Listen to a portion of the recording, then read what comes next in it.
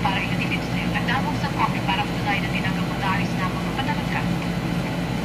Ah, ano to? Ito isang kahilingan na ihaharap mo si Arcadio Cuevas at ang kanyang mga kasamahan sa isang buwan bago mag-alas dos ngayong hapon. Ano itong palabas na itong dereliction of duty and bias against justice? Ang mga binanggo ay mga nasugatan si Ducado. Ako at aking mga tao ay muntik na nasugatan dahil sa pagkatanggol sa kanya. Wala kayong sapat na dahilan upang silang piliin. Wala akong kinalaman dyan. Hindi ako nagdemanda. Sinunod ko lang pinaputos ng hukuman. Ito ang masasabi ko. Nakabuti ang pagdala namin sa kanila rito para sa sarili na pangangalaga. Bakit pirmahan mo nga yan?